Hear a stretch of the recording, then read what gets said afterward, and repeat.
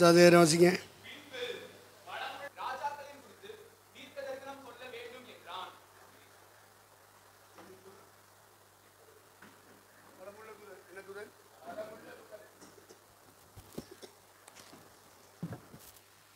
பத்தாம் அதிகாரத்தில் என்ன இருக்குங்கிற விஷயம் நமக்கு தெரிஞ்சிருக்கணும். பலமுள்ள தூதன்.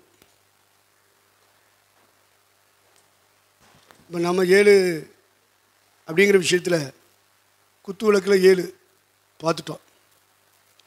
அப்புறம் ஏழு முத்திரை. அதையும் பார்த்துட்டோம். ஏழு குத்து விளக்கு பார்த்தோமா இல்லையா? ஏழு முத்திரை பார்த்தோமா இல்லையா? அதுக்கடுத்து ஏழு எக்காலம். அதையும் நம்ம வாசித்து அது முடிச்சோம் ஏழு எக்காலம் பார்த்தாச்சு. அடுத்து ஏழு கோபகலசம்னு ஒன்று இருக்குது அது பதினாறாம் அதிகாரத்தில் இருக்குது அது கீழே எழுதிக்கிறீங்க. ஏழு குத்து விளக்கு ஏழு முத்திரை ஏழு எக்காலம். அடுத்து ஏழு கோபகலசம். வெளிப்படுத்தின விசேஷம் சொன்னாலே ஏழு ஏழுன்னு வரும். ஏழு குத்து வழக்கம் ஏழு சபைகளாம். ஏழு சபைகளின் நட்சத்திரங்கள் என்றால் ஏழு சபைகளின் தூதர்களாம். அப்போ ஏழு நட்சத்திரம் ஏழு சபை ஏழு குத்து வழக்கு ஏழு முத்திரை ஏழு காலம் ஏழு கோபகலசம். அப்படிங்கிறத நீங்கள் ஒரு லைனில் படிச்சுக்கிறோம் ஓ வெளிப்படுத்தலாம் இதெல்லாம் இருக்குது அப்படின்னு சொல்லி உங்களுக்கு தெரிஞ்சிருக்கணும். கடைசி புத்தகத்தை குறித்த ஒரு அறிவு. பிரசங்கம் தெரியும் உங்களுக்கு. ஆனால் இந்த அறிவு இருக்கணும். ஏழு கோபகலசத்தை அந்த வெளிப்படுத்தல் பதினாறாம் இடத்துல வாசிங்க. வாசின்னு சொல்கிறல்ல ஏ பதினாறு.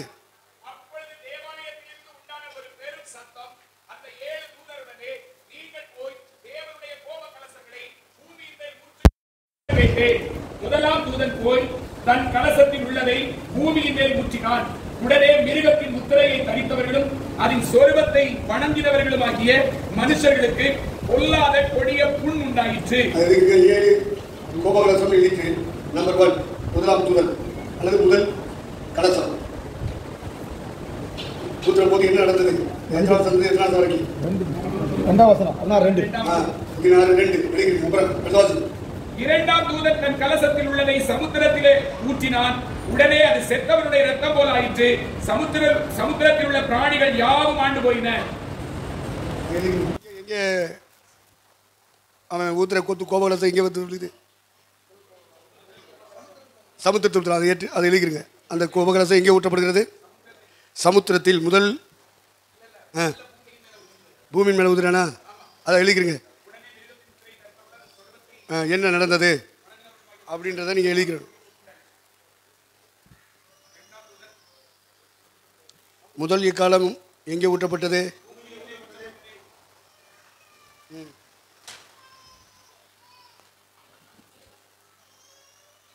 ரெண்டாவது கலசம் எங்கே ஊட்டப்பட்டது? ஆ அப்படி அந்த வசனத்தை எழுதிக்கிறீங்க எழுதிக்கிட்டீங்கன்னா அதில் என்னென்ன சம்பவித்தது? அந்த கலசம் ஊட்டப்பட்ட போது பூமியில் என்ன சம்பவித்தது? ரெண்டாவது கலசம் ஊற்றப்பட்டது சமுத்திரம். அப்போ என்ன சம்பவித்தது? அதான் நீங்கள் குறிச்சுக்கிறோம். முதல் கலசம் ஊற்றப்பட்ட போது என்ன என்னதான்? நடந்தது? பூமியில் ஊற்றப்பட்ட போது மிருகத்தை வணங்கினவர்களுக்கு புண் உண்டாயிற்று. அதான் முதல் கலசம். ரெண்டாவது கலசம் ஊற்றப்பட்டது சமுத்திரத்தில். அங்கே என்ன நடந்தது? ஆ போதும் போதும் அடுத்து. மூணாவது கலசம் மூன்றாம் தூதன் கல- தன் கலசத்தில் உள்ளதை ஆறுகளிலும் நீரூற்றுகளிலும் ஊற்றினான் உடனே அவைகள் ரத்தமாயின அப்பொழுது தண்ணீர்களின் தூதன் இருக்கிறவரும் இருந்தவரும் பரிசுத்தருமாகிய தேவரே இப்படி நியாய தீர்க்க நீதி உள்ளவராயிருக்கிறீர் சரி அதை விடு. மூணாம் கலசம் அதை ஊற்றுனா கல்லில் ஊற்றுனா மூணாம் கலசம் எங்கே ஊற்றுனா ஆறுகளிலும் நீர் ஊற்றுகளிலும். நடந்தது என்ன? ரத்தமாயிருச்சு. அது குடிச்சு வச்சிருந்தேன் அது என்ன வசனம்? பதினாறு? நாலு ஏழு போ போட்டுக்கிறங்க வசனத்தை ஆதாரப்படுத்துங்க. நிகழ்ச்சியை ஆதாரப்படுத்துங்க. அடுத்து நாலாவது கலசம் எத்தனை வருஷம் எத்தனை வருஷம் வரைக்கும் முடியுது? எட்டு ஒம்பது எழுதிட்டீங்களா? ஊற்றுனால என்ன நடந்தது வாசி?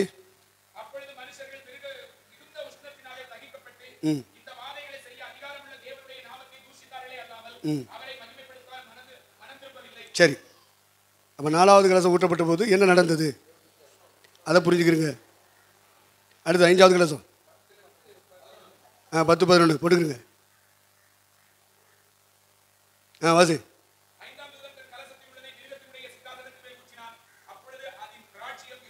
போதும். ராஜ்யம் இருளடைந்தது.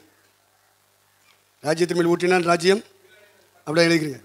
அடுத்து ஆறாவது கிளாசம் பதினாறாம் அதிகாரம். பன்னெண்டு முதல். ஆ அப்படி எழுதிக்கிறீங்க. அங்கே என்ன நடந்தது? ஊற்றப்பட்ட போது.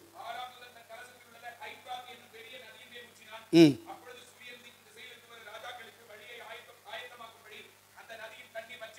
ம்.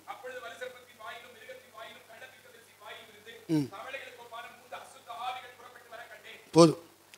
அடுத்து ஏழாம் கலசம் பதினேழு ஆறு பதினேழுலேருந்து ஆ குறிச்சிக்க வாசி.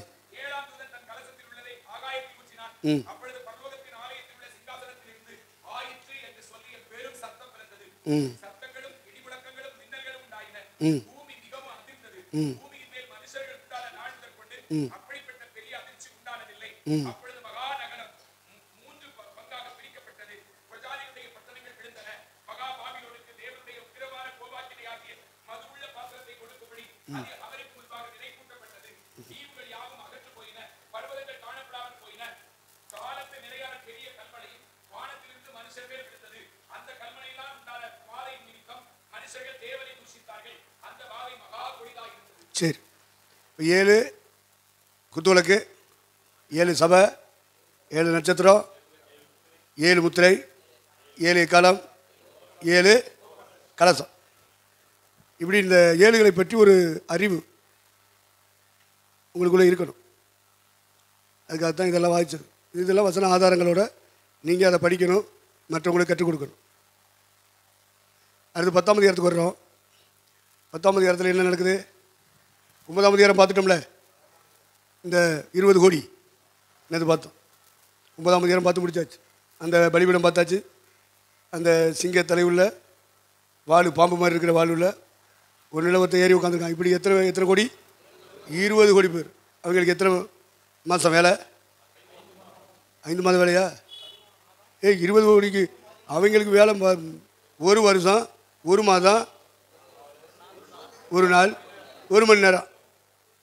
இந்த டயத்துக்குள்ளே இவங்க டூட்டி முடிச்சுட்டு இவங்க போயிடணும். இப்படிலாம் அந்த கிறிஸ்துவின் காலத்தில் நடக்க போகுது. இனிமேல் சம்பவிக்கப் போகிறவைகளை எழுது.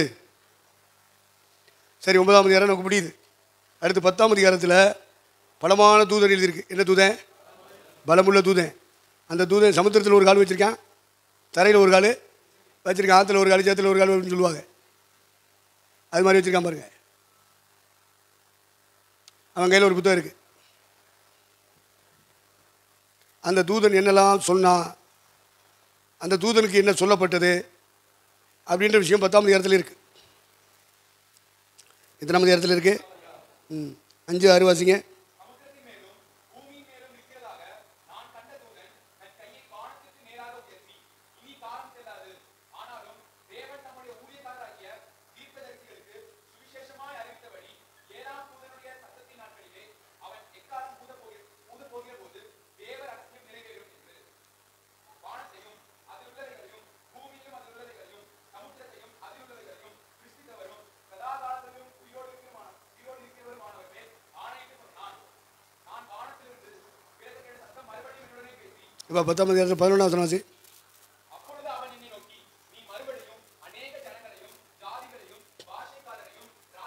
குறித்து தீர்க்கதரிசனம் சொல்ல வேண்டும் என்றான். சரி. யாருக்கு சொல்கிறேன் தூதன் யாருக்கு சொல்கிறேன் யோவானுக்கு. யார் யாருக்கு தீர்க்கதரிசனம் சொல்லணுமா யோவன்? பார்த்து பார்த்து சொல்லு பார்த்து சொல்லு. கருத்து சொல்லாத வசந்த சொல்லு. ஒன்று ஜனங்கள் இரு ஒன்று ஜனங்கள். ரெண்டாவது ஜாதிகள். மூணாவது பாசக்காரர். அடுத்து ராஜா இவங்களுக்கெல்லாம் தீர்க்கசம் சொல்லணும்னு அந்த பலமுள்ள தூதன் யார்கிட்ட சொல்கிறேன் யோவான்ட்டு சொல்கிறேன் யோவானுக்கு அப்போ வயசு என்ன? யோவானுக்கு என்னப்பா வயசு? இந்த பலமுள்ள தூதன் சொல்லும்போது அவனுக்கு வயசு என்ன இருக்கும்? ஆ? ஆ.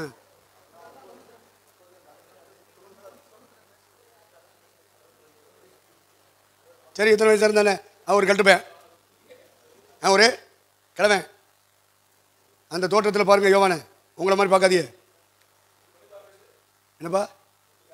பத்தியா பக்கத்தில் இருந்தாலும் அவன். அவன் தான் தெரியும். அப்போ நல்லா கவனிங்க.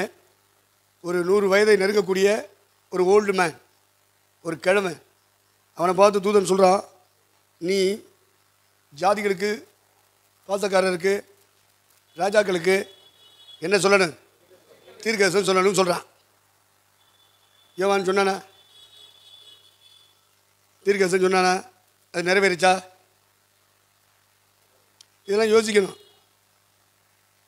அப்போது சமீப காலத்தில் ரெண்டு பேர் இருந்துச்சாங்க. எங்களை தான் ஆண்டவர் ஏற்படுத்தியிருக்காரு. அப்படின்னு ரெண்டு பேரும் சொல்லிட்டாங்க. அதுக்கு ஆதாரம் இந்த வசனம். தீர்க்கதரிசனம் சொல் என்று சொன்னால் யோவான் சொல்லவில்லை. அவருடைய பின் சந்ததியாக நாங்கள் இருக்கிறோம். எங்களை கொண்டு தான் கத்தர் தீர்க்கசனம் சொல்கிறாரு அப்படின்னு சொல்லிட்டு ரெண்டு பேரும் சொன்னாங்க. உங்களுக்கு அந்த ரெண்டு பேர் யாருன்னு தெரியுமான்னு தெரியல. நீங்கள் தெரியாமல் இருப்பது நல்லது. தெரியாமல் இருப்பது நல்லது.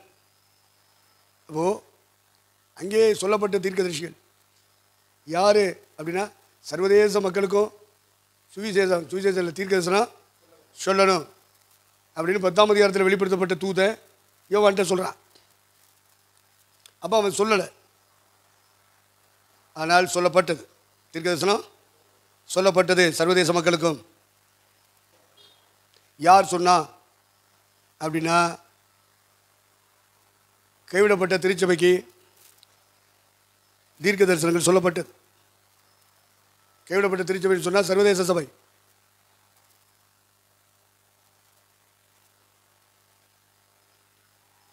எத்தனை சாட்சிகளாய் மறிக்கப்படுற ஒரு கூட்டம்.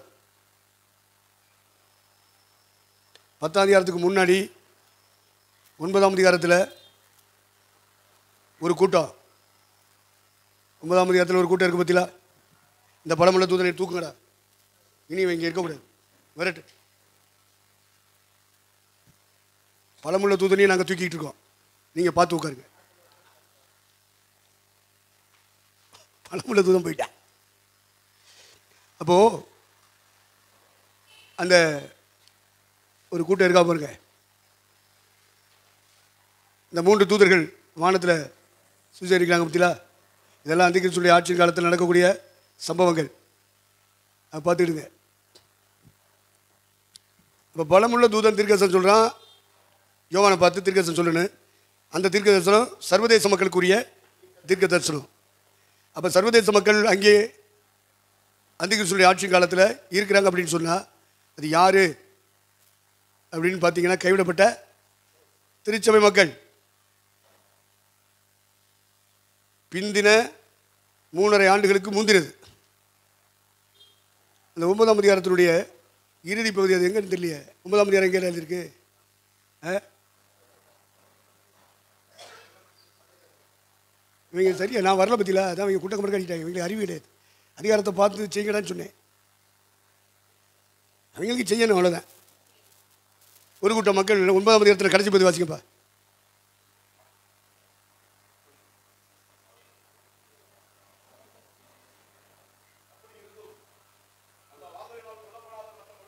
ம்.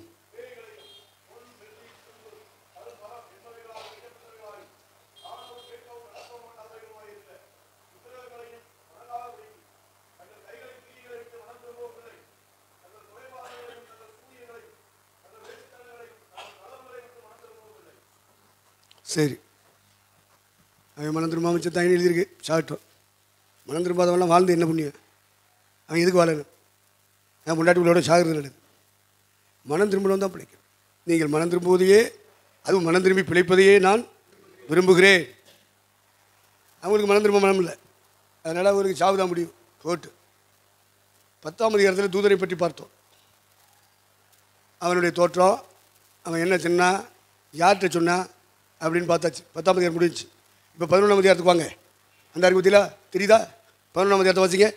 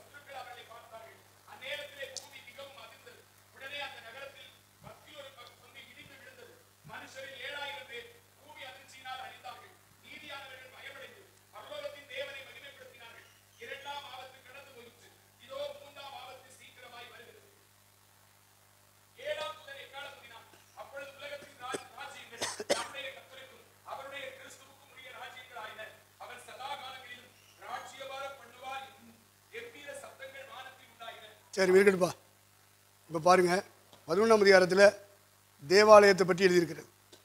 முதல் வசனம் ரெண்டாவது வசனம் வச்சுங்க. ம்.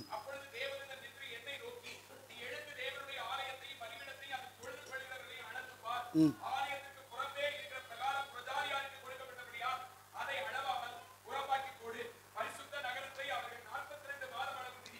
சரி நாற்பத்தி ரெண்டு மாதம் அப்படின்னா என்னது?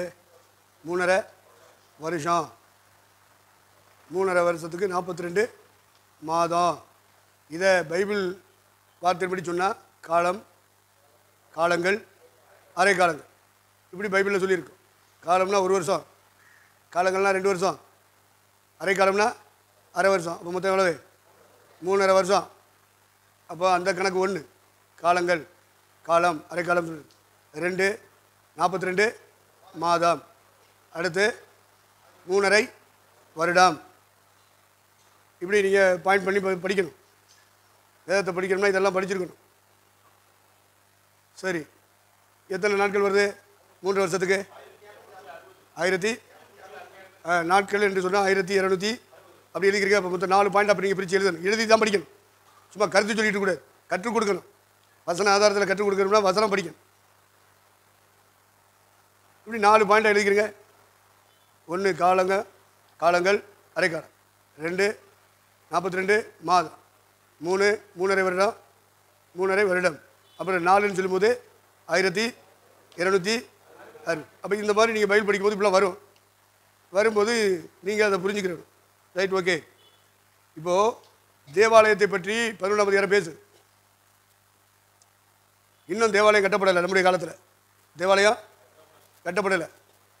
தேவாலயம் வந்து ஒரு லிஸ்ட்டில் வரும்.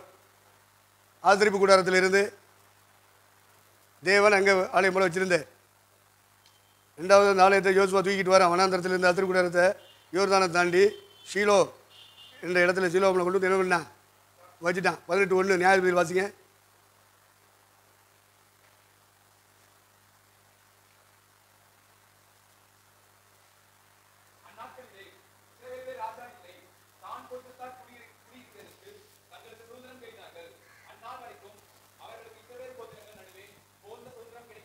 பதினெட்டு ஒன்றாப்பா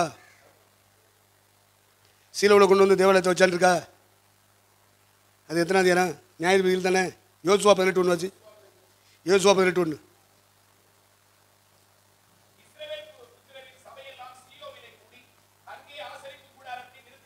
ம். அப்போ காணானுக்குள்ள சீலோ என்ற இடத்துல கொண்டு வந்து ஆசிரியர் கூடாரத்தை என்ன செஞ்சாங்க? நிறுத்தினாங்க. இப்போ வனாந்திரத்தில் ஆசிரியர் கூடாரத்தில் தேவன் இருந்தார். அந்த ஆசிரியப்பு கூடாரத்தை காணானை பிடிச்ச பிறகு யோர்தானை தாண்டி இறுக உடைச்சி உள்ளே கொண்டு வந்து நட்டாங்க. அதுக்கு பேர் எந்த இடம்? சிலோ. அங்கே கொண்டு வந்து நட்டுட்டாங்க பற்றிலா அடுத்து ஒன்று ராஜாக்கள். நாலாம் நேரமா ஒன்று ராஜாக்கள் ஆறு ஒன்று ரெண்டு வாசிங்க இஸ்ரவேல் புத்திரர் எகிப்து தேசத்திலிருந்து புறப்பட்ட நானூற்றி எண்பதாம்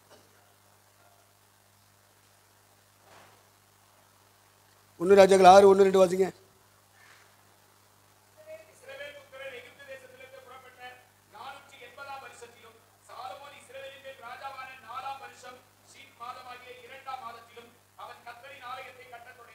அப்போது போதும்.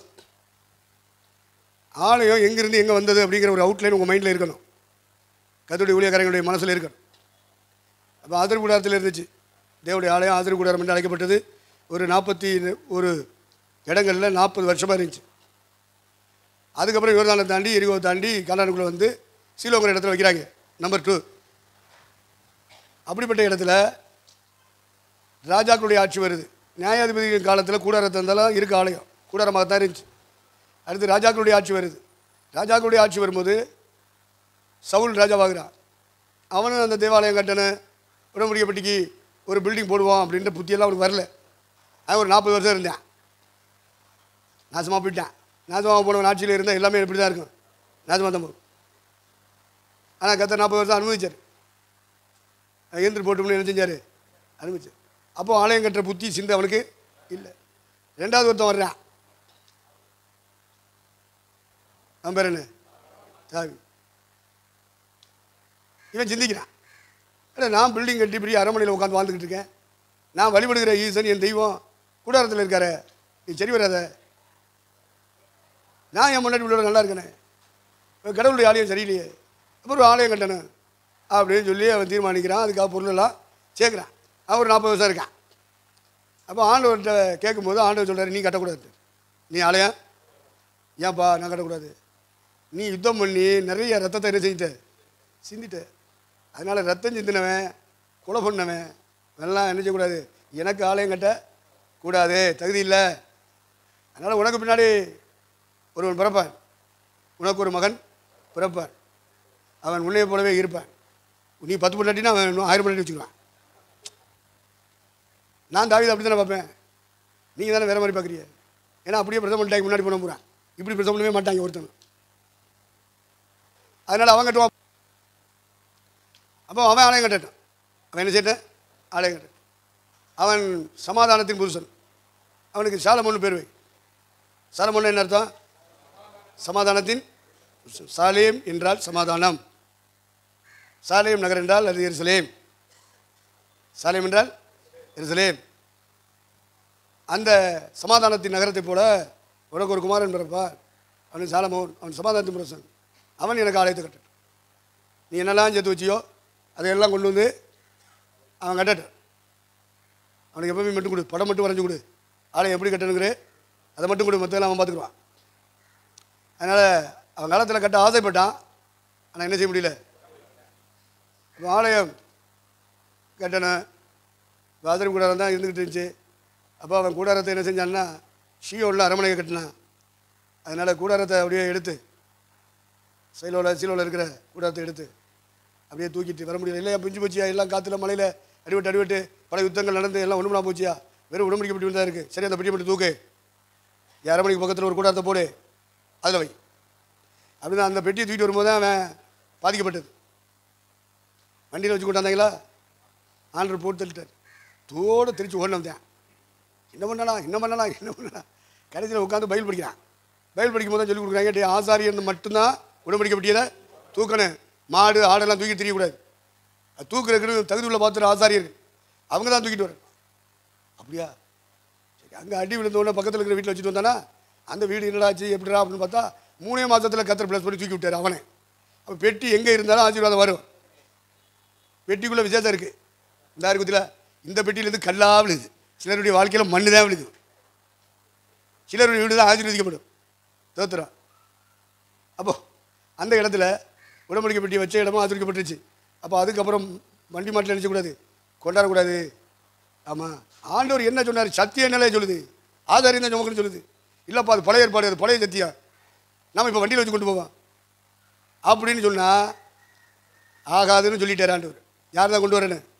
ஆசாரியம் கொண்டு வர்றது பழைய ஏற்பாடுன்னு சொல்லுவான் சில ஆள். நம்ம புதிய சத்தியம் சொல்லுவாங்க இவன். நீங்கள் ஆமாம் ஆமாம் ஆமாம்னு தலையாட்டிடக்கூடாது. ஏன்னா சத்தியம் பழசு. சத்தியத்தை தந்த ஒரு கத்தரு பழசு. அவ தள்ளிடுவியா? உள்ள சத்தியம் இருக்கான்னு பார்க்கணும். பழைய ஏற்பாட்டுக்குள்ளே எங்கெல்லாம் சத்தியம் இருக்கோ அதை பூரா எடுக்கணும். புதிய ஏற்பாட்டில் வாழ்கிறவன் சத்தியத்தை தோண்ட தெரியணும் எடுக்க தெரியணும். அது பழைய ஏற்பாடு தள்ளக்கூடாது. அப்படின்னு அந்த ஏற்பாட்டை பண்ணி தந்தவரும் பழையவர் தானே. அவர் எத்தனை வருஷமாக பழசாக இருக்கார். தள்ளு அவரையும் சேர்த்து தள்ளு. தள்ளிடுவியா? அதனால் காலங்களுக்கு ஏற்ப எதை தள்ளணுமோ அதை தானே செய்யணும். தள்ளல். இஷ்டப்படலாம் பேசுகிறாயா என்ன பண்ணுனே தெரியல.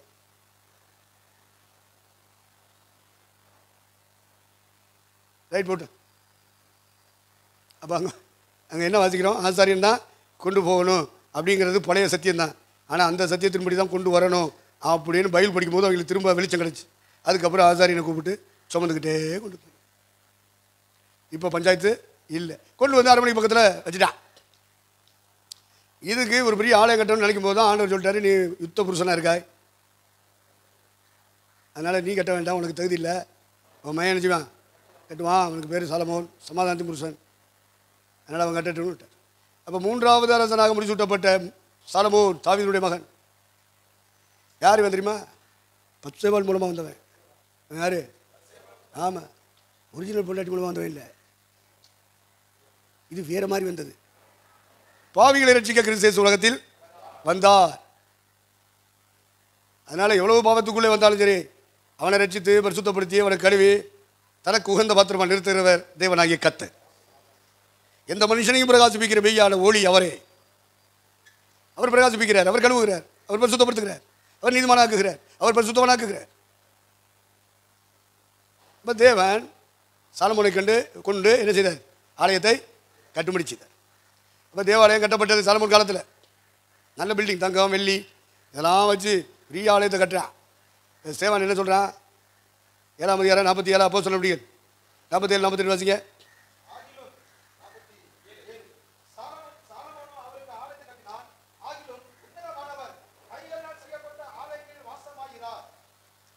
கைகளினால் கட்டப்பட்ட ஆலயத்தில் அவர் தான் கட்ட சொன்னார் தாவீட்டை சொல்லி.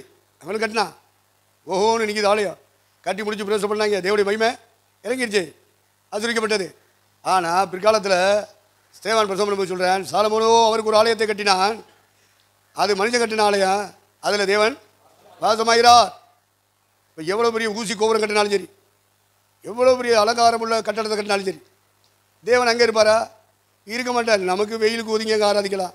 மழைக்கு ஒதுக்கி அங்கே ஆராதிக்கலாம். பனிக்கு ஒதுங்கி ஆராதிக்கலாம். பயங்கரமான காற்றடிக்குது ஊற்றில ஃபேனே கீழே விழுகிற மாதிரிலாம் காற்றடிக்குது சில நேரம். அந்த காற்றுக்கு ஒதுங்கி என்ன இதுக்கு தான் கோயில். அங்கே கடவுள் இருக்க மாட்டார். தெளிவாக நீங்கள் புரிஞ்சுக்கிறேன். சாலமோனோ அவருக்கு ஒரு ஆலயத்தை கட்டினான். அந்த ஆலயம் மனுஷனால் கட்டப்பட்ட ஆலயம். அதிலே தேவன் வாசமாக இரார். அதனால் இந்த உலகத்தில் எவ்வளோ பெரிய தேவாலயம் கட்டினாலும் அதனுடைய எஃபெக்ட் என்னன்றதை புரிஞ்சுக்கிறீங்க. எத்தனை லட்சம் போட்டு கட்டினாலும் அங்கே கடவுள் வர மாட்டார் இப்படி தேவாலயம் கட்டப்பட்டது.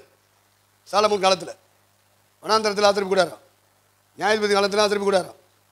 ராஜாக்குடைய காலத்துலேயும் சாலமோன் தாவீதுடைய காலத்துலேயும் கூடாரம் தான். சாலமோனுடைய காலத்தில் தான் பில்டிங் வருது. இப்போ இந்த பில்டிங் மக்கள் எல்லாரும் இங்கே போய் என்ன பண்ணாங்க பிரேஷம் பண்ணி ஆராதிக்க தொடங்கினாங்க. இந்த பில்டிங் என்னாச்சு? நிபுகாத்து நேச்சாருடைய காலம். கிமு அறுநூற்றி ஆறு. அந்த காலகட்டத்தில் நிபுகாத்து நேச்சார் அவன் தலைமையில் இராணுவத்தை கூட்டிகிட்டு வரான். பாபிலோனிய இராணுவம். தளபதி நிபுகாத்து நேச்சார். அப்போ அவங்க அப்பன் ராஜாவாக இருக்கான் அகில உலகத்துக்கும். பேர் நெபுலேசர். பேர் என்னது? நெபுலேசர். இவனுக்கு பேர் நிபுகாத்து நேச்சார். இப்படி வர்றாங்க. வந்து எடுத்து ரெண்டு மூணு தடவை பல நாடுகளை யுத்தம் பண்ணி பிடிச்சான் இஸ்ரேல் நாட்டி பிடிச்சாங்க. பிடிச்சிட்டு அங்கே முதல் தடவை அரெஸ்ட் பண்ணி கொண்டு போகிறான் சில வாலிபர்களை. அந்த வாலிபர்களில் ஒருத்தன் தானியே ஷாத்ராக் மேஷாக் அபேத் நேகோ என்ற வாலிப பசங்களை எல்லாம் அரெஸ்ட் பண்ணி கொண்டு போய் வச்சு அவங்க யூனிவர்சிட்டியில் படிக்க வச்சு அவங்கள தேர்த்தி எடுத்து செக்ரட்டரியேட் முழு உலக கவர்மெண்ட் அதில் அவங்களுக்கு அப்பாயின்மெண்ட் பண்ணுறான் முழு உலக கவர்மெண்ட்டியா ஐநா சபைன்னு சொல்கிறாங்கல்ல அது மாதிரி அந்த காலகட்டத்தில் பாபிலோன் இருந்துச்சு. அதில் செக்ரட்டரியேட்டில் இவங்களுக்கு அப்பாயின்மெண்ட் கிடைச்சு. தானியலுக்கு சாத்ராக் மேஷக் அபேத்னவுக்கு கிடைச்சு அப்போது முதல் தடவை அரெஸ்ட் அதுக்கு அடுத்து மறுபடி வராங்க மறுபடியும் ஒரு அரெஸ்ட் இப்படி அரெஸ்ட் ஆகி அரெஸ்ட் ஆகி போகும்போது அந்த தீ வரவன் முருதக்காய். அந்த சின்ன பொண்ணு எஸ்தரு. அப்போ சின்ன பொண்ணு. எஸ்தரு முருதக்காய். நம்ம எஸ்ஐக்கியல் திருக்கி வச்சிருக்காமத்தில இவன். இவங்க எல்லாம் நல்ல வாலிப வாலிபமாக இருக்கிற காலத்தில் மறுபடியும் ஒரு அரசில் பாபிலோன் கொண்டு போட்டார். ரெண்டாவதுலாம் சொல்ல முடியாது எனக்கு தெரியாது. சும்மா அதுக்கு தான் கல் நறுக்கு கடிக்கிறது வெள்ளங்காமல் இருக்கிய. நான் திடீர் திடீர்னு ஏன் கடிக்கிறேன்? எனக்கு தெரியாத என்னிடத்தில் கேட்கிறார்கள். நான் என்ன செய்வேங்கிறான் தாவிது. எனக்கு தெரியாததை என்னிடத்தில் கேட்கிறார்கள். அவன் தேவத்தை தெரிஞ்சிருந்தேன் அதனால் எல்லாம் தெரிஞ்சவன் நினச்சிக்கிட்டு கேட்கக்கூடாது. தெரிஞ்சாதான் சொல்லி கொடுத்துட்டே இருப்பானே. அதுக்குள்ளே அவசரப்பட்டு கேட்டால் அப்புறம் கடிக்க தான் செய்வேன். ரைட் ஓகே ஆக மூன்று முறை ஏறக்குறைய நான்கு முறை நிபுகாத்து நேச்சர் சர்வதேச தலைவனாக ஆட்சி செய்த பொழுது இஸ்ரேல் மக்கள் நான்கு தவணைகளாக சிறைபிடிக்கப்பட்டு கொண்டே போனார்கள். அதில் மூன்று தவணையை தான் முக்கியமாக எழுதப்பட்டிருக்கிறது. அங்கு மிகுமாக இருக்கிறதை ஆராய்ந்து பார்த்தால் தான் அந்த விஷயத்தை கண்டுபிடிக்க முடியும். இவ்விதமாக தேவாலயம் நிபுகாத்து நேச்சருடைய ஆட்சியின் காலத்தில் இடிக்கப்பட்டது தகர்க்கப்பட்டது சுற்றி எரிக்கப்பட்டது. சாலமோன் கட்டின ஆலயம் என்ன செஞ்சாய் போச்சு? நிபுகாத்து நேச்சருடைய கல்லில் எரிஞ்சு போச்சு. ஆலயத்தெல்லாம் ஆலயத்தை சுற்றி இருக்கிற காம்பவுண்ட் வாலையெல்லாம் உடைச்சிட்டாங்க. திரும்ப மேதியா பிரிச்சாவுடைய ராஜா அவன் யார்? குரேஷ். முதல்ல மேதியர்கள் ஆட்சிக்கு வந்தார்கள். கூட்டணி ஆட்சி தான் அது. அதுக்கு பிறகு மேதியர்கள் முடிவு மூணு ஒரு மூணு வருஷம் இருந்திருப்பேன். என் கணக்குப்படி. அதுக்கப்புறம் கோரேஸ் ஆட்சிக்கு வந்துடுறான். அப்போ கோரேஸ் ஆட்சிக்கு வரும்போது கிட்டத்தட்ட எழுபது வருஷம் முடியுது இவங்க சிறைப்பட்டு போய். எரேமியாவின் காலத்தில் சிறைப்பட்டு போனார்கள். இறைமையாக தான் சொல்கிறாங்க எழுபது வருஷம் தேசம் ரம்மியமாக இருக்கும். இளைப்பாறுதலாக இருக்கும் மக்கள் இருக்க மாட்டாங்க. எல்லாரும் அகதிகளாக அங்கே போயிடுவாங்க பாபிலோனுக்கு. எழுபது வருஷம். எழுபது வருஷம் முடியுமா முடியாதா இப்போ முடியும் எப்போ முடியும் அப்படின்ற இடத்துல தானியெல்லாம் வருவான். வந்து அவன் வாசிப்பான் பாருங்க பத்து ரெண்டா பத்து மூணு. தானியல்.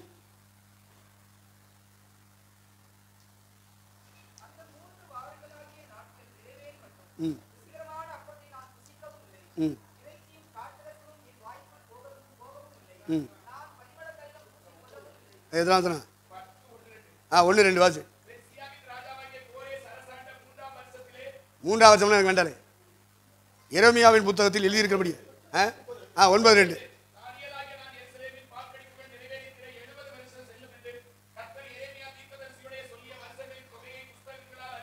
பாருங்க அப்போ பைபிள் ஒழுங்காக படிச்சுட்டே இருந்தால் தான் தெரியும்.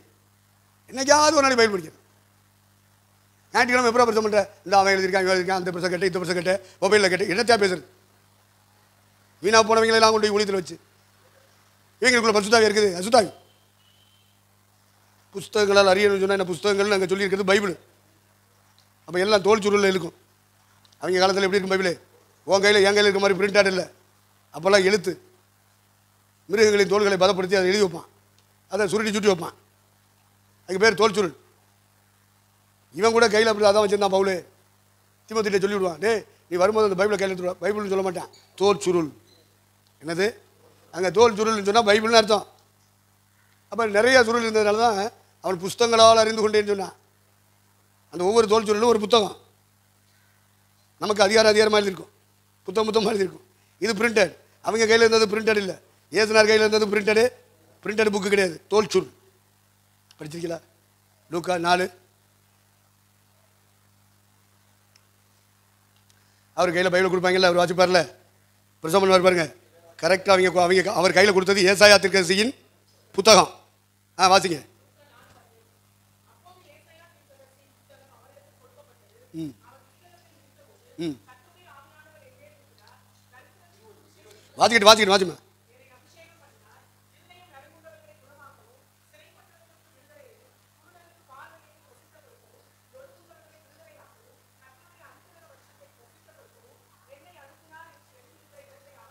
கண்டு வாசித்து சுரு உங்கள் புத்தகத்தை நீங்கள் சுருட்டுவீங்களா?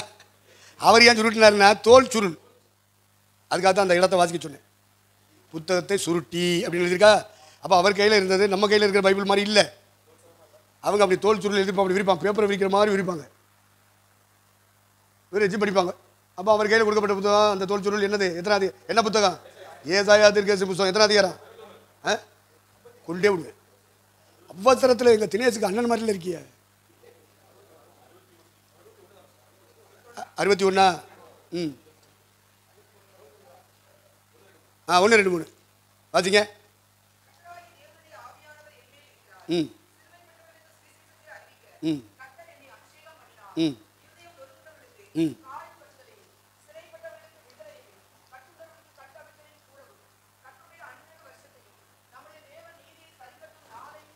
பாருங்க. அதில் அனுக்கிரக வருஷத்தையும் என்று எழுதியிருக்க பாருங்க. இப்போ வாங்க லூகாவுக்கு. நியாய திருப்பூரால் கூறுறதை வாசிக்க மாட்டார். எது வரைக்கும் வாசிக்கிறாரு? ம். ஆ. உடனே சுருட்டிடுவார். அதுக்கு பின்னாடி என்ன வார்த்தை இருக்கு? தேவனுடைய அதை வாசிக்க மாட்டார். அதை வாசிக்கல? அந்த இடத்துல நில்லுங்க. அப்புறம் அப்புறம் என்ன எழுதி அப்படிலாம் படிக்காதீங்க. என்ன சொல்ல வரேன்னு பாருங்கள் அனுக்கிரக வருஷத்தை கூறவும் என்ற இடத்தை கண்டு வாசித்துட்டு டக்குன்னு என்ன பண்ணிட்டாரு? மூடிட்டார். ஏன்னா அடுத்த வார்த்தை என்ன வருது? ஏசையா போனால் தான் தெரியும். ஆ அதெல்லாம் வாசிக்க மாட்டார். எதை வாசிக்கணும்? அவர் ரட்சகராக வந்திருக்கார். அவர் நியாயாதிபதியை உட்கார்றதெல்லாம் இப்போ சொல்லிக்கிட்டு இருக்கக்கூடாது. ரட்சிப்பை பற்றி தான் சொல்லணும். மக்கள்கிட்ட என்ன சொல்லணும்? ரட்சிப்பை பற்றி நான் சொல்லணும் நான் நியாயந்திருக்க வந்திருக்கேன்னு சொல்லலாமா? அது அவரை குறித்து எழுதியிருக்கிற தீர்க்க தரிசனம். அப்போ அந்த லூக்கா நாளில் கீழே வாசிங்கன்னா எழுதியிருக்கோம். வாசிங்க. வாசிங்க. வாசிக்கிறத கண்டு வாசித்து. ம். ம். அடுத்த. இல்லைப்பா இந்த வேலை வாக்கிய நிறைவேற்ற காரியம் இருக்குமே. ம். ம். இன்றைக்கு நிறைவேறு பாருங்க. ஏன்னா அனுக்கிரக வருஷத்தை கூறுகிற வா காலம் அந்த காலம். நியாயத்திருப்பை கூறுகிற காலம் இல்லை. அப்போ எது வரைக்கும் ஒரு வாழ்க்கையில் வாசிக்கணுமோ அது மட்டும் வாசிட்டு மற்றதை வாசிக்கலை. சுட்டிட்டார். இது எதுக்கு? எதுக்கு சொன்னேன்? புத்தக சொல்லு. ஆ பைபிளை அவன் வாசிக்கிறான். இரமியா ஆ அப்போ பைபிள் தானியல் இரமியாவோட புத்தகத்தை வாசிக்கிறான். அவன் வா- வாசித்தது என்ன புத்தகம்? ஏதுனார் வாசித்தது என்ன புத்தகம்? ஆ. அப்போ அந்த புத்தகத்தை வாசிக்கும் போது எழுபது வருஷம் இஸ்ரேல் தேசம் ரம்மியமாக இருக்கும் அப்படின்னு சொன்னதை வாசிச்சுட்டு தான் ஜெபிக்க ஆரம்பிக்கிறான். வாசிட்டிங் போடுறேன். நல்ல சாப்பாடெல்லாம் சாப்பிடாம உட்காந்து. அவன் பெரிய அதிகாரி. முழு உலகத்துக்கும் வந்த ராஜாவுக்கு அடுத்த ஸ்தானம் தானியல். அவ்வளோ பவர் இருக்குது அவனுக்கு கீழே அகில உலக நாடுகள்லாம் கீழே இருக்குது அவன் கையெழுத்துக்காக காத்திருக்கும். அவ்வளோ பெரிய உத்தியோகத்தில் அவன் உட்கார்றான் ஆனால் ஓதம் போடுறாயா? தனியாக உட்கார்றான் இருபத்தொரு நாள் வாசம். எத்தனை நாள்? இருபத்தி நாலு வருஷம் நீங்கள் எத்தனை நாள் வாத முடிய அத்தனை நாள் நல்லா திங்கிறிய. என்ன வாதம் போட்டுட்டு இருக்கா இருபத்தொரு நாள் வாசம் ஏழு நாள் வாசம் மூணு நாள் வாசம் நாற்பது நாள் வாசம். எத்தனை இல்லையா? ஆ பதினாலு நாள் அவர் போட்டுக்கார் போட்டுருக்கு. தோத்துறான் அப்போ இப்படி போகும்போது அவன் இருபத்தொரு நாள் வாசம் போட்டிருக்கான். யார்? அப்போ பைபிள் வாசிக்கிறான். வாசிக்கும் போது எழுபது வருஷம் ஆகிற இடம் வந்தாச்சு? அப்போ மேதியா பெருசா மேதியர்கள் ஆண்டு கொண்டிருந்த காலகட்டங்கள். இப்போ பெருசிய தேசத்தின் அதிபதி வரப்போகிறான் அவன் வந்து ஆட்சியில் உட்கார்ற முதலாம் வருஷத்தில் ஃபைல் கொண்டாந்து கொடுத்த உடனே அவன் போடுற முதல் கையெழுத்தை இஸ்ரேலிய மக்கள் விடுவிக்கப்படுகிறார்கள். தாய்நாடு போகலாம். சொந்த ஊரே போகலாம். மட்டுமல்ல அவர்கள் ஆலயத்தை கட்டலாம். அவன் கட்டுங்கள் என்று எருசலேமை பார்த்து சொல்லுவான். எருசலேமே கட்டப்படு. அப்படின்னு சொல்லுவான். கட்டப்படும். ஏசாயா நாற்பத்தி நாலு லாஸ்ட் வாசிங்கய்யா ஆ. ஏய் நாற்பத்தி நாலா? கடைசி ரெண்டு வருஷமா ஆ. ம். ம். ம். ம். பார்த்தீங்களா இது கோரேசை குறித்து சொல்லப்பட்ட தீர்க்கசனம் அவன் என் மெயின் பண்ணி சொல்கிற அந்த வசத்தை மட்டும் நம்மளால் எடுத்துக்குவான் இவன் இடையில உருவுற வைக்க நம்மால். இடையில சொருகுவேன் இடையில உருவிட்டு போயிடுவேன். அது கோரேசை பற்றி சொல்லப்பட்ட தீர்க்க தரிசனம் உனக்கு எனக்கு உரியது அல்ல. உன்கிட்ட பரிசுத்தாவியான இருந்தால் சொல்லிக் கொடுப்பேன். வேற இருந்தால் சொல்லாது. அவசியத்துக்கு எடுத்துக்க? அதெல்லாம் ஒன்றில் என்று காமிச்சாச்சு. அப்படிலாம் எடுக்கக்கூடாது. அடுத்து நாற்பத்தஞ்சு அதிகாரம் ஒன்றில் இருந்து நீங்கள் நாலஞ்சு வசனம் வச்சிங்கன்னா அங்கே என்ன எழுதியிருக்கேன்? கோரியத்தை பற்றி தான் எழுதியிருக்கும். ஆனால் நம்ம ஆட்கள் அதை தான் மாதாந்திர வாக்கு தத்துவம் வருடாந்திர வாக்கு தத்துவத்துக்கு எடுத்துக்கிடுவாங்க கோரியது அதை பார்த்துட்டு சரி படத்து போகிறாங்கன்னா அவன் விட்டுட்டு உட்காந்துருக்கேன் அவனுக்கு கொடுக்கப்பட்ட வாக்கு தத்துவம் ஆ. கூட நாளதை செவையாக்குவேன் சொல்லியிருக்கா? அது கோரியத்துக்கு சொல்லப்பட்ட வாக்கு. நம்மளாலே எடுத்துருவாங்க. நைஸாக எடுத்து அதை பிரிண்ட் பண்ணி வருஷத்தில் அது சுருட்டி. ஆ எடுத்துக்க எடுத்துக்க.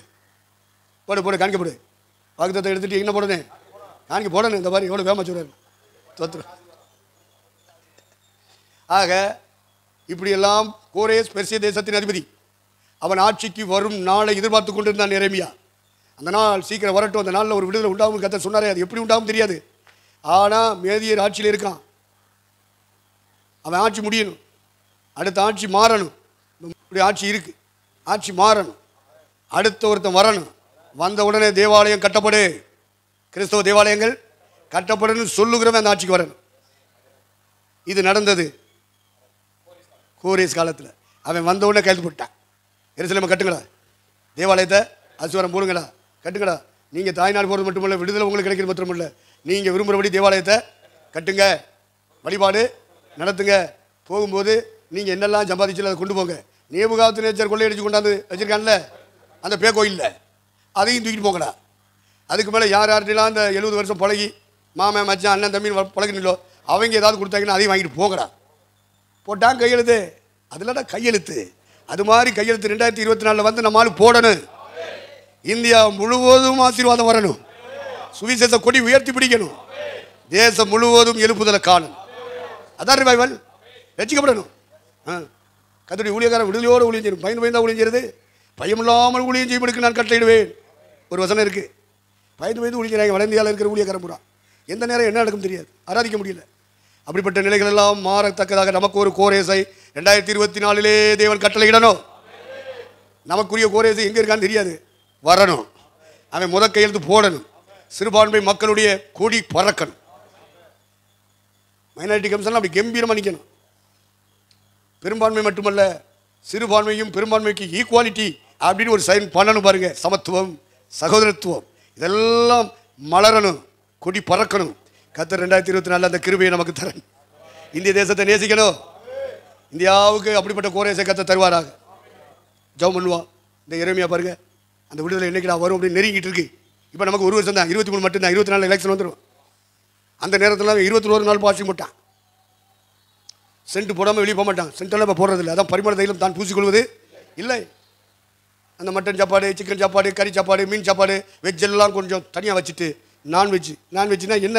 வெறும் காய்கறி கூட்டுன்னு நினைக்கக்கூடாது. அந்த ஒரு கஞ்சி ஒரு துவையல். ருசிகரமான போஜனத்தை நான் சாப்பிடலை. அப்படிலாம் போட்டால் நீங்கள் வருவீங்களா?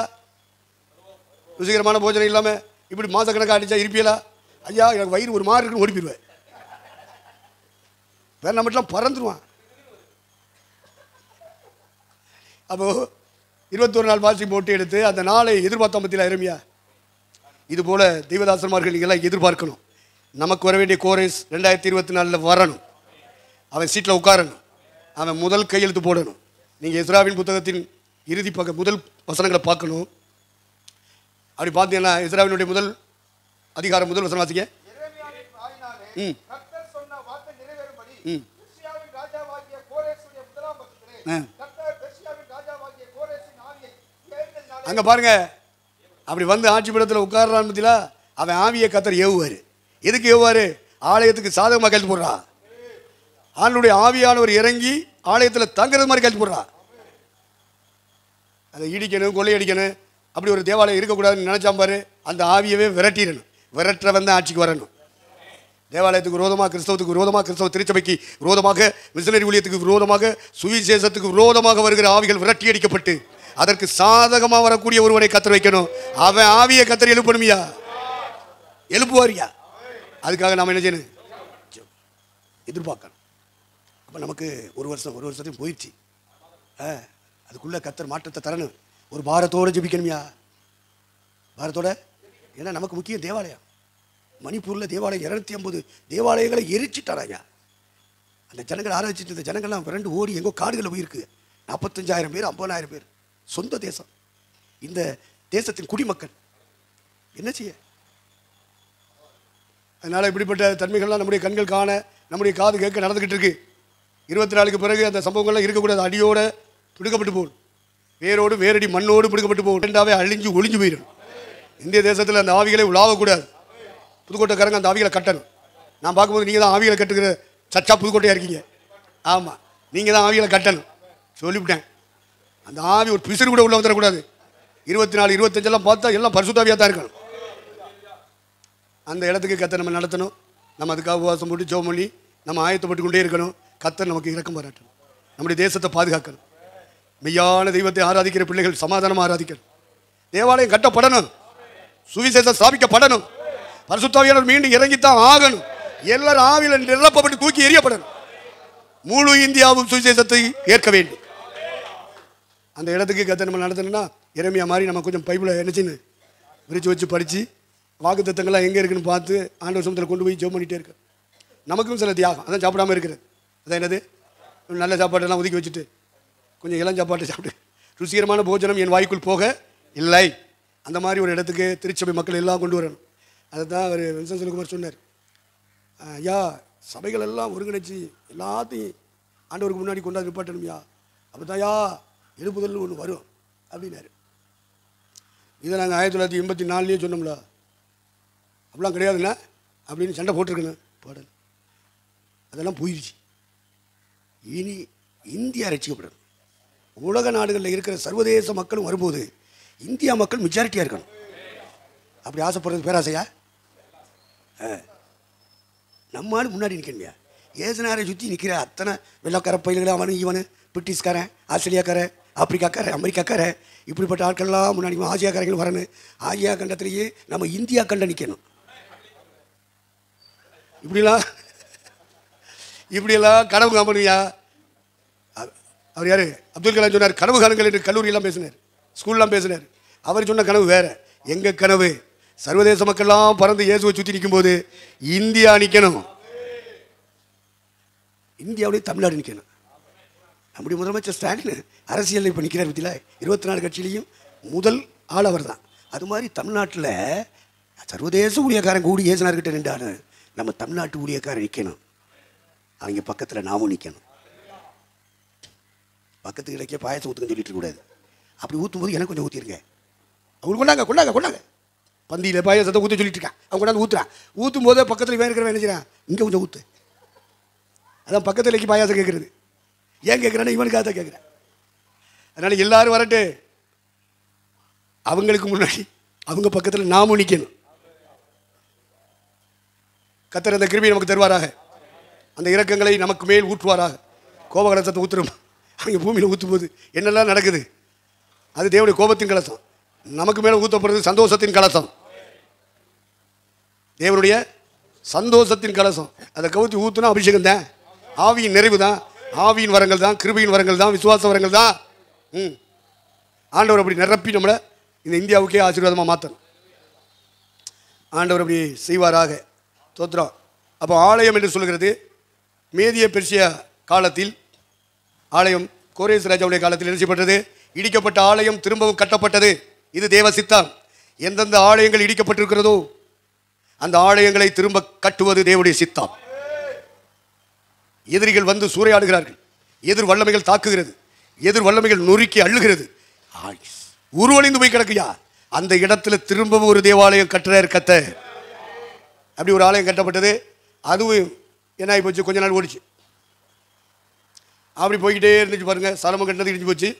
அதுக்கப்புறம் சிறுபாபேல் தலைமையில் பிரதான ஆசாரியன் ஜோஷுவா. இவங்க ரெண்டு பேரும் இணைஞ்சாங்க. தீர்க்கதரிசிகள் ஆகாய் சகரியா. அவங்க ரெண்டு பேரும் இணைஞ்சாங்க. எல்லாருமா சேர்ந்து எடுத்து மக்களை உற்சாகப்படுத்தி அருமையாக கோரேசு கையெழுத்து போட்ட உடனே ஆலயத்தை அத்துவரம் மட்டும் கட்ட ஆரம்பித்தாங்க அது கட்டப்பட்டு அது முடிந்தது. அதுக்கப்புறம் நெகமியாவுக்கிட்ட போய் சொன்னாங்க ஆலயம்லாம் கட்டியாச்சு நல்லா தான் ஓடிக்கிட்டு இருக்கு. ஆனால் சுற்றுச்சுவர் என்ன செய்யலை? எருசலேமின் அலங்கங்கள் கட்டப்படவில்லை. என்று சொன்னபோது அவன் உட்காந்து அழுக ஆரம்பிச்சிட்டான். அந்த செய்தியை கேட்ட உடனே ஒரு சேஞ்ச் கத்துடைய வார்த்தை நம்முடைய மனசில் விழுந்துருச்சு இதயத்தில் விழுந்துருச்சுன்னா நம்ம லைஃப் ஸ்டைலே மாறணுமியா? அதான் கத்துடைய வார்த்தை. கேட்டு விட்டுட்டு போகிறதில்ல கேட்டு கொண்டுக்கிட்டு போகணும். அப்போ கத்துடைய வார்த்தை சகோதர மாதிரி அனனியா ஒருத்தன் வந்து சொல்கிறான் எப்பா நம்ம தேசம் ஆலயம் கட்டியாச்சு அலங்கம் கட்டப்படலப்பா. அந்த நிபுகத்த நேச்சர் காலத்தில் சுட்டி எரிச்சாங்க பற்றியா இடிச்சு தகு தவிடுபடியாக்குறாங்க அது அப்படியே கிடக்கு. அதை கேட்ட உடனே நான் இங்கே பணபத்திரக்காரனாக இருந்து என்னடா புண்ணியம்? அகில உலக ராஜாவுக்கு கீழே நல்ல போஸ்டிங் இருந்து என்ன புண்ணியம்? என் நாட்டுக்கு என் தேசத்துக்கு நான் வழிபடுகிற என் ஈசனுக்கு என் தெய்வத்துக்கு என்னால் ஒரு காரியம் இந்த பூமிக்குரிய வாழ்க்கையில் செய்ய முடியலனா நான் வாழ்ந்து என்னடா செய்ய? அப்படின்னு இருதயத்தில் யோசித்தான் அவன் மூஞ்சியில் ஒரே துக்கம். மன வேதனை இப்போ ராஜாக்கு என்ன பண்ணுறான் ஜூஸ் கொண்டு போய் கொடுக்குறான். சூப்பு ஜூஸ் கொடுக்குறது அவனுடைய வேலை. அப்படி செய்கிறவங்களுக்கு தலைவன். யார்? நெகீமியா. அப்படி கொண்டு போய் கொடுக்கும்போது ராஜா பார்க்குறான் டே எப்பவுமே நல்லா இருக்குமாடா உன் முகம்? மலர்ந்த முகத்தோடு சிரித்த முகத்தோடு இருப்பிய. இப்போ ரொம்ப துக்கமாக இருக்க. சொல்லு விஷயம் என்ன? எங்கள் தேவாலயத்தை சுற்றி ஒரு அழங்கு கட்டப்பட்டிருக்கும். எருசலேமை சுற்றி அலங்கு கட்டப்பட்டிருக்கும். பன்னிரெண்டு வாசல் இருக்கும் யாருக்கு எத்தனை வாசல்? பன்னிரெண்டு வாசல்கள். ஒரு திசைக்கு மூணு. ஒரு திசைக்கு மூணு. நாலு திசைக்கு நாமூனா பன்னெண்டு வாசல் கொண்ட ஒரு அலங்கம் கட்டப்பட்டிருக்கும். அதெல்லாம் இடிச்சிட்டாங்கய்யா அந்த காலத்தில். நொறுக்கிட்டாங்கய்யா. எரிச்சிட்டாங்கய்யா. அது இன்னும் கட்டப்படாமல் இருக்கியா? அதே எங்கள் பிள்ளைங்க என் ஊர்லேருந்து வந்தவங்க சொன்னாங்க. அது எனக்கு ரொம்ப பாரமாயிருச்சு. அதனால துக்கமாக இருக்கு. அப்படியா? சரி. பானபாத்திரக்காரன் என்ற இடத்துல இருக்கிற ஒன்று கவர்னராக நியமிக்கிறேன். கவர்னர் ஆக்குறாங்களா இல்லையா? அவங்க அந்த காலத்திலே ஆக்கிட்டாங்க. இனி இஸ்ரேல் நாட்டுக்கு நீ கவர்னர் நீ உத்தரவிட்டா எல்லாம் ஒத்து போ கீழ்ப்படி அப்போ நீ என்னெல்லாம் பண்ணணுமோ பண்ணு.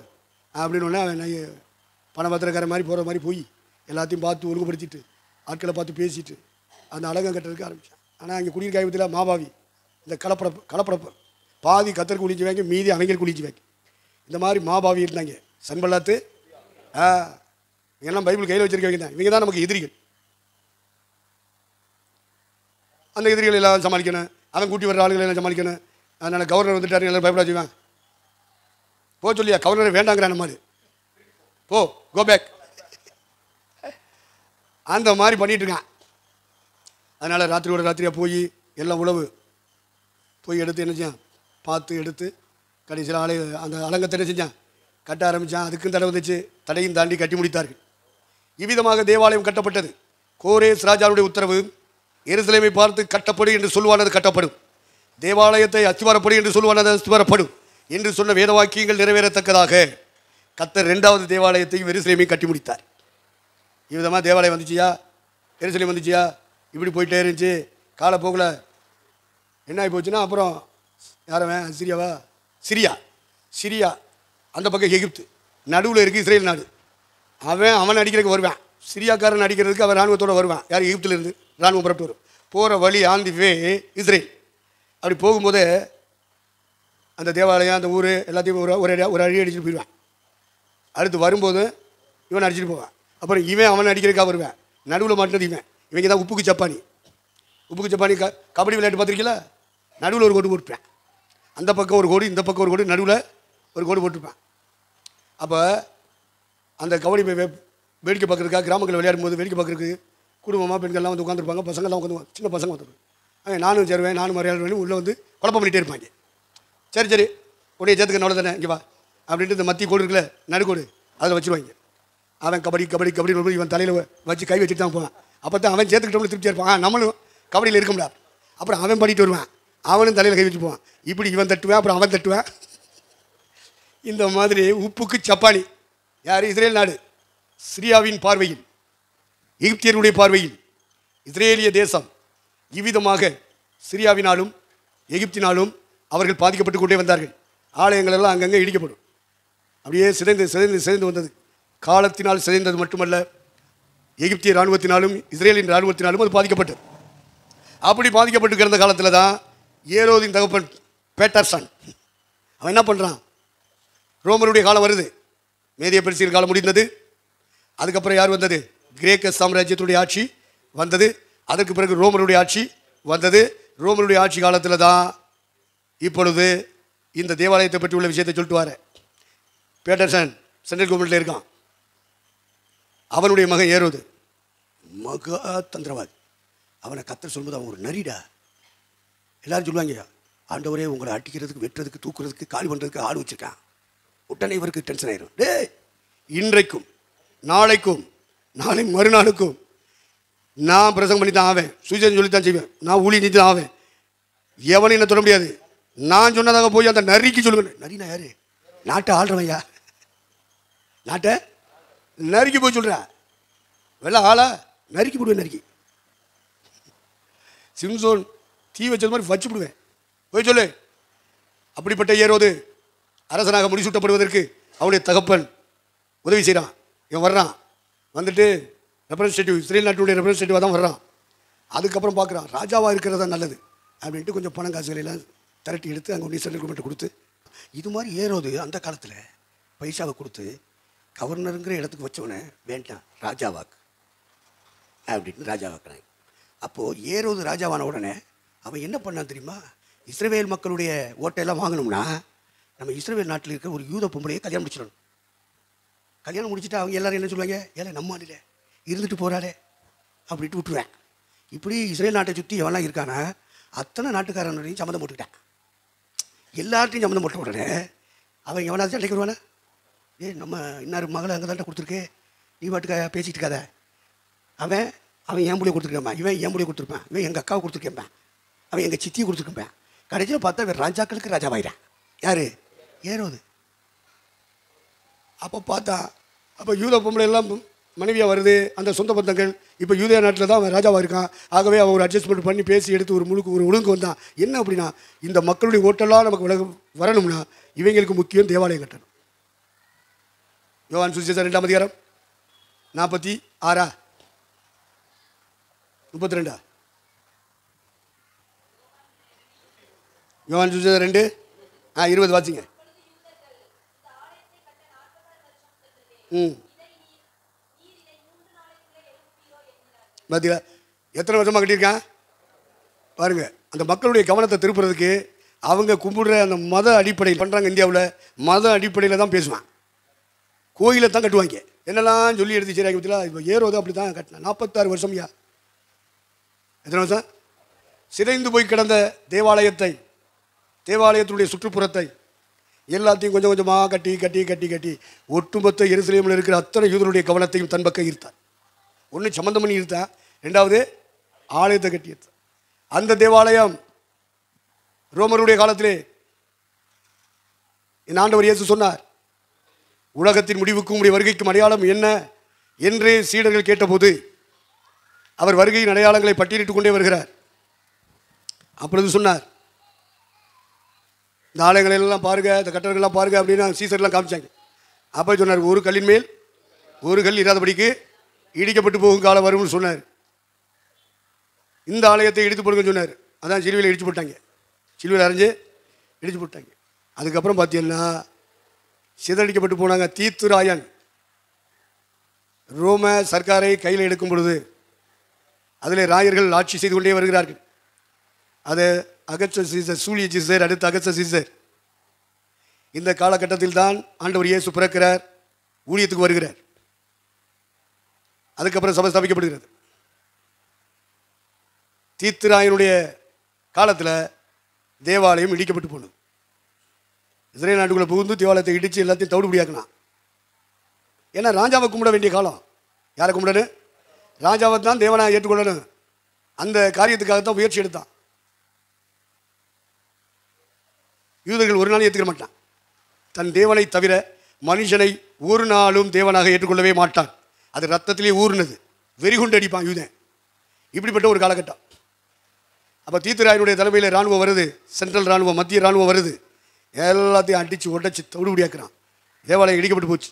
இஸ்ரவேல் மக்கள் சிறடிக்கப்பட்டார்கள் பல்வேறு இடங்களுக்கு போய்விட்டார்கள். இதான் பரிசுத்தாவி ஊத்துற காலத்தில் அவங்க எல்லாம் வந்தாங்க இல்லையா?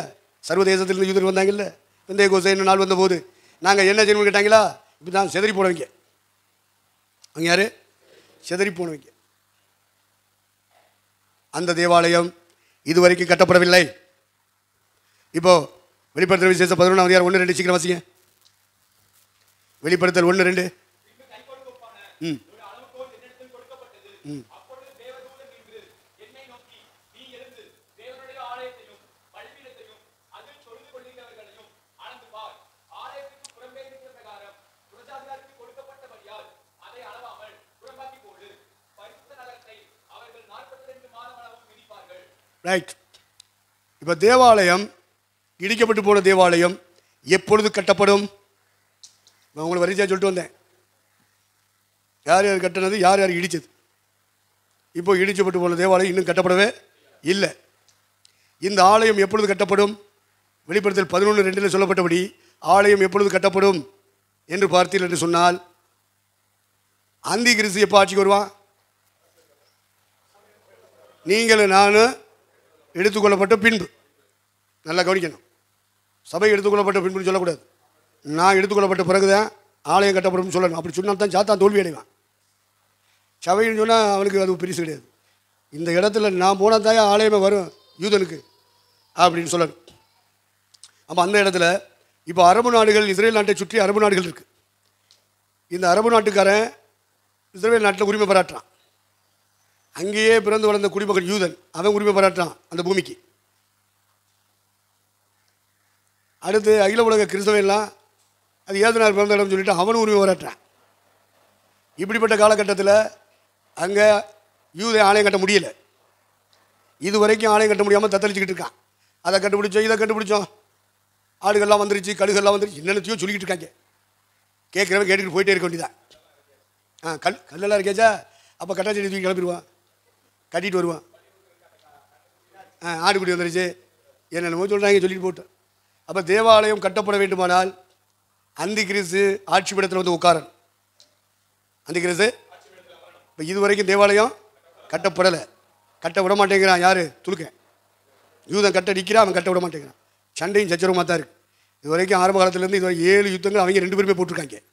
எத்தனை யுத்தம்? ஏழு யுத்தங்கள் நடந்திருக்காங்க. தனிப்பட்ட விதத்தில் மோதல். யாசர் அர அரபாத்தெல்லாம் டூ லேட் அதுக்கு முன்னாடியே யுத்தங்கள் தொடங்க ஆரம்பிச்சிருச்சு.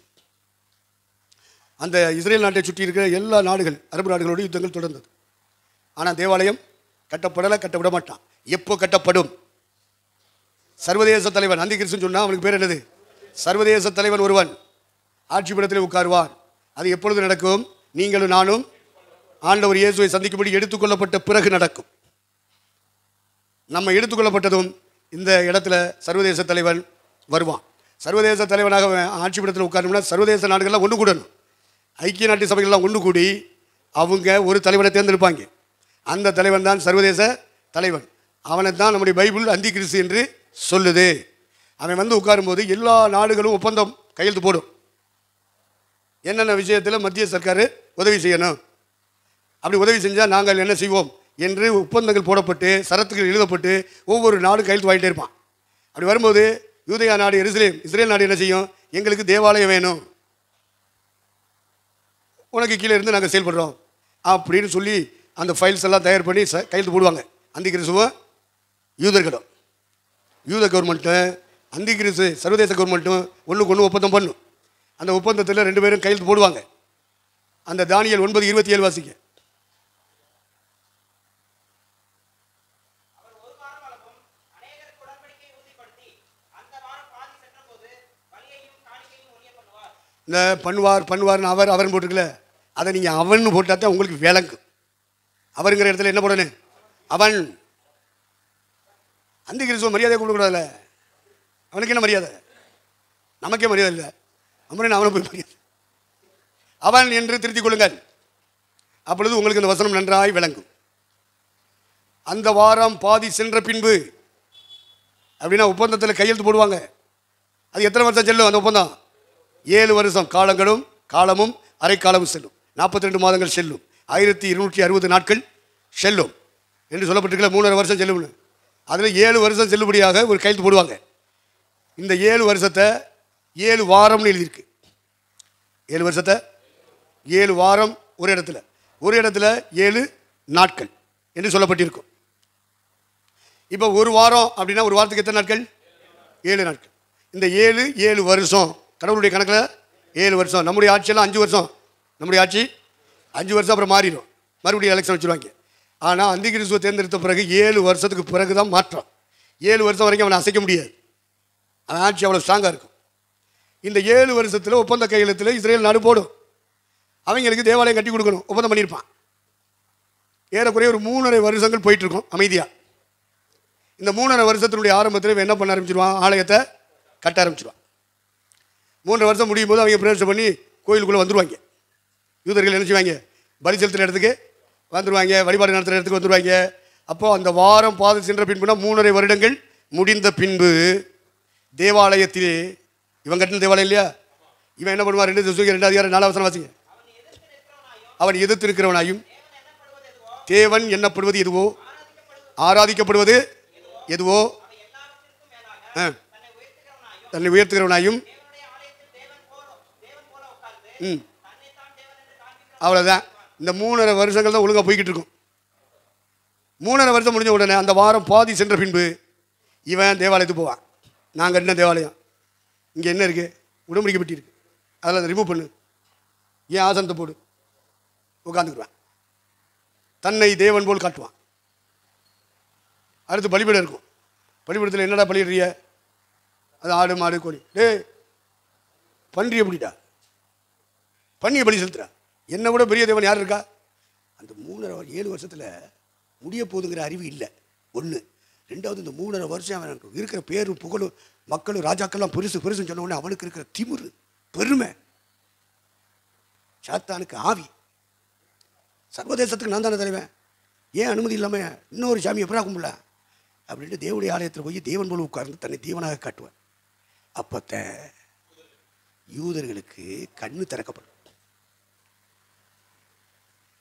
அப்போ சகரியா பன்னெண்டு பத்து வாசிங்க.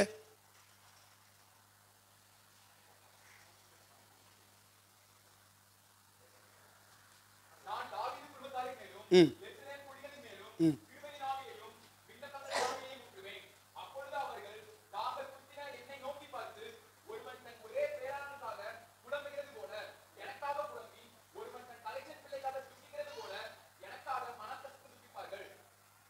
அப்போ தாவீதின் குடிகளும் அழுவானா?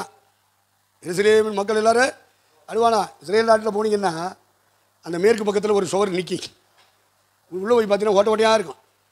அதில் போய் இவங்கெல்லாம் ஜெபம் ப்ரேயருக்கு போகும்போது அந்த ஜோதில் எழுதிவாங்க முட்டி முட்டி அழுவாங்க. அப்புறம் ஜெப குறிப்புகள் எழுதி அந்த ஓட்டையில் சொல்லி வச்சுட்டு நான் போனேன். எல்லாரும் நிற்கிற மாதிரி நானும் போய் நின்றேன் வரிசையாக நிற்காங்க நம்மளும் நிற்போம் இப்படியே பார்த்துக்குவேன் அவன் முட்டுவான். நான் முட்ட மாட்டேன். ஏன்னா முட்டுனா ஒன்றும் நடக்காது.